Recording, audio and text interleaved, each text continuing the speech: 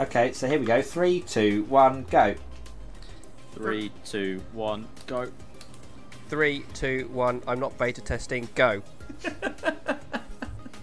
Hello guys and welcome back to another video with the Beta Test Squad. It's the Sigma Grand Prix. That's Harry's Straight headset. away. Straight away. Oh, my headset fell off my head. Whoops. Into the pitch we must go. E-I-E-I-E-I-O. I'm going to go up your inside. I'm gonna block. Oh no, I'm not! Fucking yes. I love that. Oh, lunge Oh, tacular. Verstappen, get your asshole out of mine!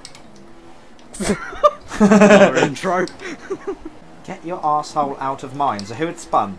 Because that's rear on rear right there.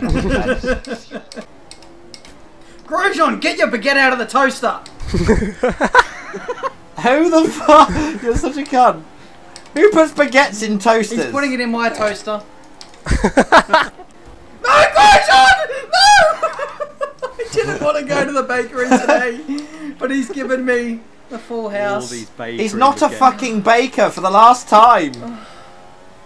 He's just French. That was the sweat. I mean, you can't you can't banter around that track because that you'll was just find yourself in the fucking YouTube wall. championship ever. The only time you can banter is if you either fuck up or you're on a straight. That is literally the biggest polar opposite to last episode I've ever seen.